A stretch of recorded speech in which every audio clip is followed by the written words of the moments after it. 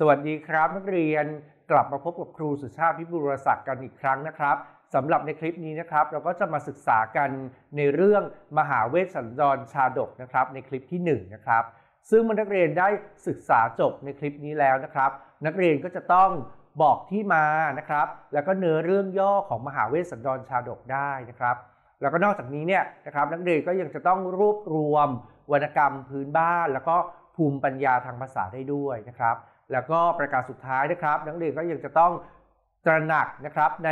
ความสำคัญของมหาเวสสันดรชาดกด้วยนะครับ เดี๋ยวเราไปเข้าสู่บทเรียนกันเลยนะครับเอาไปเลยครับคำถามแรกนะครับครูอยากจะถามนักเรียนนะครับว่านักเรียนเนี่ยรู้จักชาดกหรือไม่นะครับ แล้วก็นักเรียนเคยอ่านชาดกเรื่องใดบ้าง ลองช่วยครูตอบหน่อยสิครับ ตอบได้ไหมเอ่ย อ่าตะโกนกันมาเสียงดังฟังชัดเลยนะครับ หลายคนนะก็บอกว่าเคยนะครับ เคยอ่านชาดก เคยรู้จักชาดกนะครับ ก็คือนะตัวอย่างคำตอบนะกก็เช่นนะครับทศชาติชาดกนะครับ หรือในเรื่องของมโหสถชาดกนะครับ หรือว่ามหาเวสสันดรชาดกนะครับ หรือว่ามหาชนกชาดกนั่นเองนะครับ เก่งมากๆเลยนะครับนักเรียนอะต่อไปนะครับ ครูอยากให้นักเรียนเนี่ยปฏิบัติกิจกรรมนี้นะครับ โดยให้นักเรียนเนี่ยอ่านบทนำเรื่องนะครับมหาเวสสันดรชาดกนะครับแล้วก็ร่วมกันตอบคำถามดังต่อไปนี้นะครับ ข้อที่1นะครับชาดกคืออะไรนะครับ ข้อที่ 2 ชาดกมีลักษณะอย่างไรนะครับ แล้วก็ข้อที่3นะครับมหาเวสสันดรชาดกมีที่มาอย่างไร นักเรียนลอง อ่านบทนำเรื่องนะครับ แล้วช่วยครูตอบคำถามนี้หน่อยนะครับเอาจับเวลาเลยครับ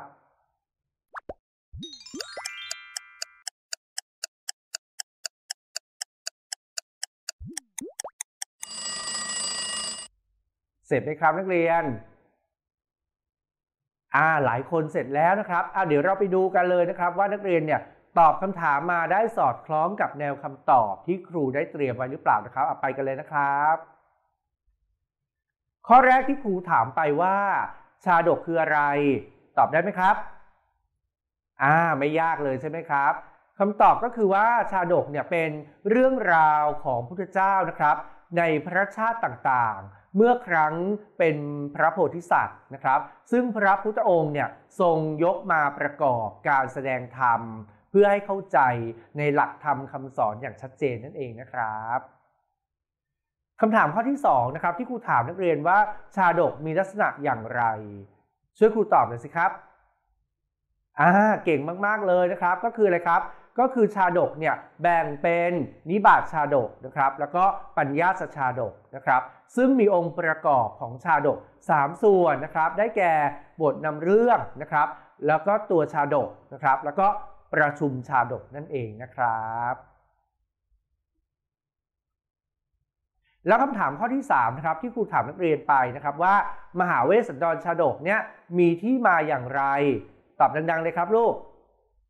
เก่งมากๆเลยนะครับ ก็คือเลยครับ มหาเวสสันดรชาดกเนี่ยเป็นชาดกที่พระพุทธเจ้าเนี่ยได้ทรงแสดงธรรม เพื่อโปรดพระราชบิดา แล้วก็พระประยูรญาตินะครับ พระองค์เนี่ยทรงแสดงยมกปฏิหารนะครับ แล้วก็มีฝนโบกขรพรรษตกลงมา ซึ่งฝนเนี้ยนะครับ เคยตกลงมาในสมัยที่พระองค์เสวยพระชาติเป็นพระเวสสันดรนนั่นเองนะครับ ยอดเยี่ยมมากๆเลยนะครับนักเรียน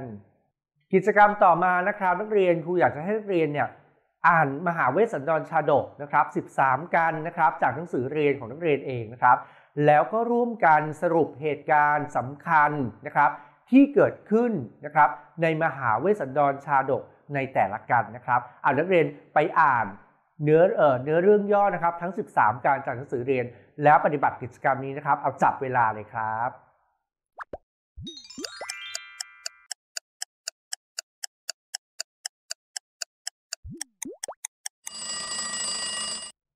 เสร็จไหมครับลูก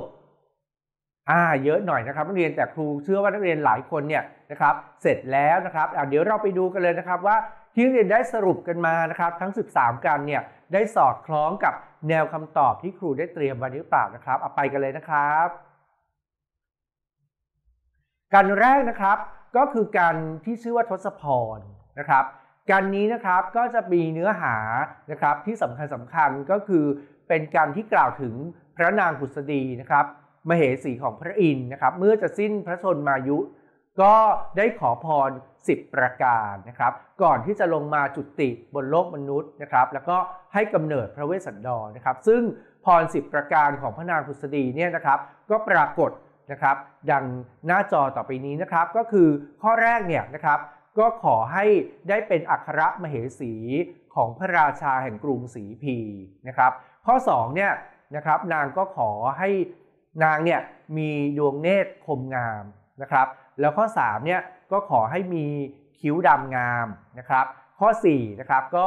ขอให้มีนามว่าผุดสดีนะครับ ข้อ5นะครับก็ขอให้มีโอรสนะครับที่มีชื่อเสียงนะครับ ข้อ6นะครับนางก็ขอให้มีพระคันแบนราบเวลาที่นางทรงคันนะครับ ข้อ7นะครับนางก็ขอให้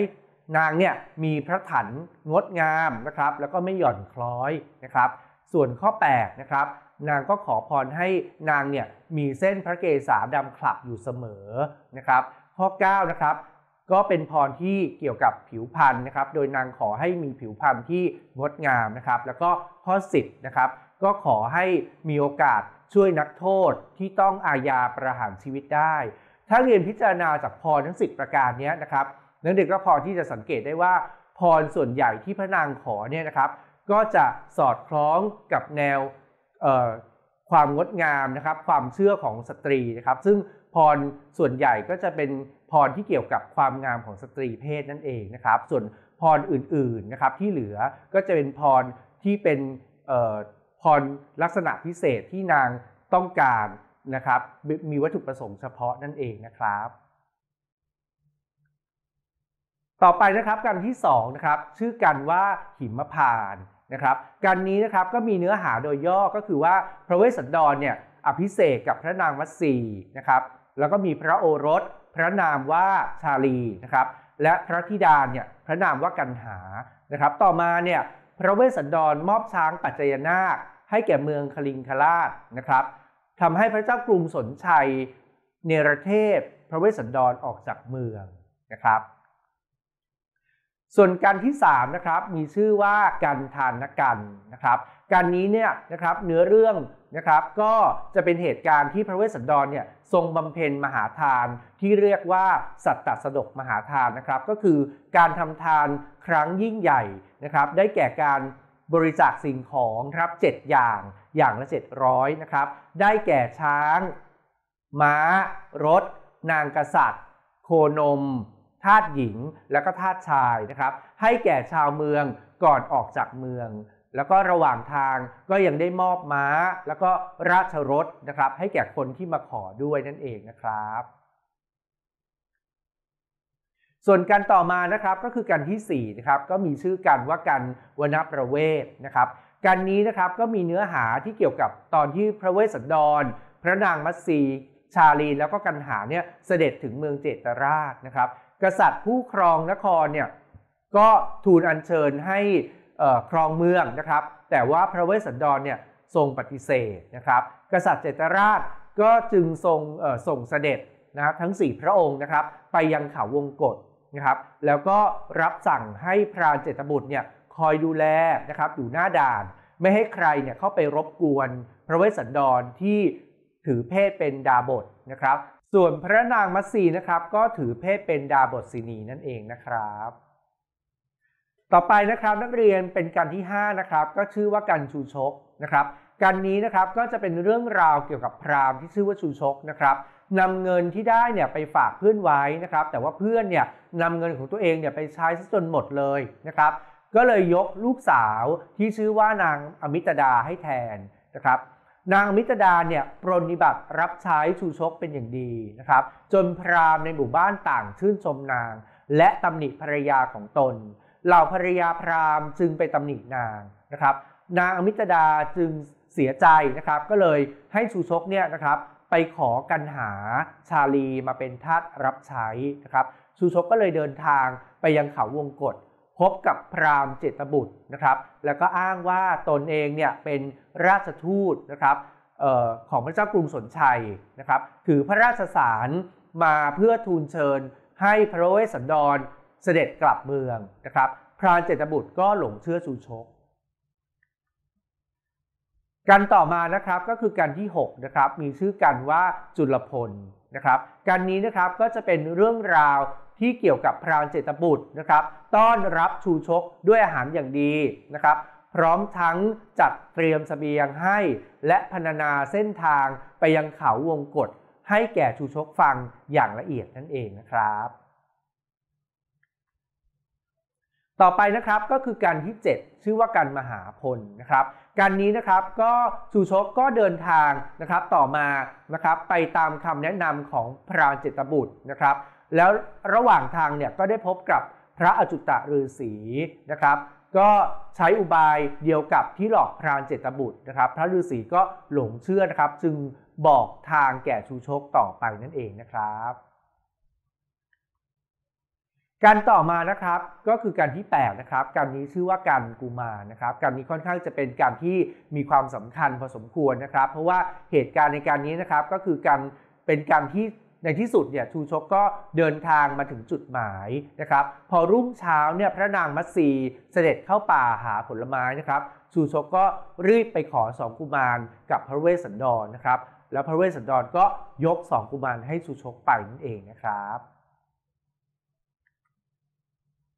ต่อมานะครับการที่ 9 นะครับ การที่ 9 เนี่ยชื่อว่าการมัดสีนะครับ การนี้เนี่ยนะครับนักเรียนก็จะได้ไปศึกษากัน เต็มกันเลยนะครับในชั้นมัธยมศึกษาปีที่ 5 ต่อไปนะครับแต่ว่าตอนนี้นะครับนักเรียนก็ฟังเนื้อเรื่องย่อไปก่อนนะครับการนี้นะครับก็เป็นการที่พระนางมัตสีเนี่ยเสด็จเข้าป่าหาผลไม้นะครับขณะที่กำลังเสด็จกลับนะก็พบเหตุการณ์อัศจรรย์ต่างๆนะครับเมื่อมาถึงอาสม พระนางไม่พบกันหาชาลี ก็เลยออกตามหาแล้วก็เสียพระทัยนะครับจนสลบไป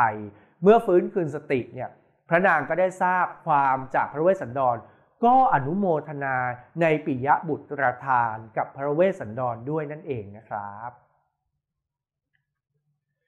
ต่อมานะครับการที่ 10นะครับเราเรียกว่าการสักบับนะครับการนี้นะครับพระอินเนี่ยแปลงเป็นพราหมณ์มาขอพระนางมัตสีเพราะเกรงว่าพระเวสสันดรเนี่ยจะพระราชทานนางแก่ผู้อื่นนะครับ เมื่อพระอินได้รับแล้วก็ถวายคืนนะครับ เพื่อให้ ปรนิบัตินะครับพระเวสสันดรต่อไป แล้วก็ประทานพร 8 ประการนะครับให้แก่พระเวสสันดรด้วยนั่นเองนะครับ ต่อไปนะครับการที่ 11นะครับการนี้ชื่อว่าการมหาราชนะครับการนี้เนี่ยก็เทพพยดานะครับโดนบันดาลนะครับให้สุชกเนี่ยเดินหลงทางนะครับมาถึงกรุงศรีพีนะครับแล้วพระเจ้ากรุงสนชัยเนี่ยก็ทรงทราบนะครับจึง ถ่ายตัวสองกุมารคืนจากสุชกนะครับ แล้วก็จัดอาหารมากมายนะครับ มาให้สุชกกินหรือว่ารับประทานนะครับสุชกก็กินอาหารมากจนเกินไปจนถึงแก่ความตายนะครับ ชาลีก็ทูลขอให้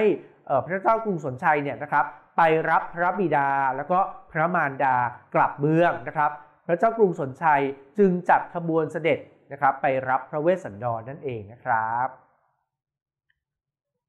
ต่อไปนะครับการที่ 12นะครับชื่อว่าการช่อกษัตริย์นะครับการนี้นะครับพระเจ้ากรุงสนชัยเดินทางถึงเขาวงกฏนะครับเมื่อพระเจ้ากรุงสนชัย พระนางผุษดี พระเวสสันดร พระนางมัตสี พระชาลีและพระกันหาพบกันนะครับ ต่างก็ร่ำไห้จนหมดสตินะครับ พระอินทร์จึงทรงบันดาลให้ฝนโบกขรพัดตกลงมา กษัตริย์ทั้ง 6 พระองค์จึงทรงฟื้นขึ้นมานั่นเองนะครับ และการสุดท้ายนะครับชื่อว่ากันนครกันนะครับการนี้ก็มีเหตุการณ์ที่สำคัญก็คือพระเวสสันดรก็ทรงลาผนวดนะครับ แล้วก็เสด็จกลับไปครองกรุงศรีพี ด้วยทศพิษราชธรรม และก็ทรงบริจาคทานจนพระชนได้ 120พรรษา จึงสวรรคต ไปอุบัติเป็นเท้าสันดุสิตนั่นเองนะครับ กิจกรรมต่อมานะครับครูอยากจะให้นักเรียนเนี่ยร่วมกันวิเคราะห์ และก็แสดงความคิดเห็นเกี่ยวกับมหาเวสสันดรชาดก 13 กันนะครับ โดยตอบคำถามดังต่อไปนี้นะครับคำถามที่1นะครับ การให้ทานของพระเวสสันดรเออได้ผลเป็นอย่างไรนะครับคำถามที่2นะครับนักเรียนคิดว่าสาเหตุใดนะครับ ที่ทำให้พระเวสสันดรบริจาคทานในรูปแบบต่างๆ จนทำให้พระองค์เนี่ยเกิดความลำบากในชีวิตนะครับ แล้วก็คำถามที่3นะครับ นักเรียนคิดว่าในสังคมปัจจุบันเนี่ยการให้ทานอย่างพระเวสสันดรเหมาะสมหรือไม่อย่างไร นักเรียนลองช่วยครูตอบคำถามนี้นะครับ เอาจับเวลาเลยครับ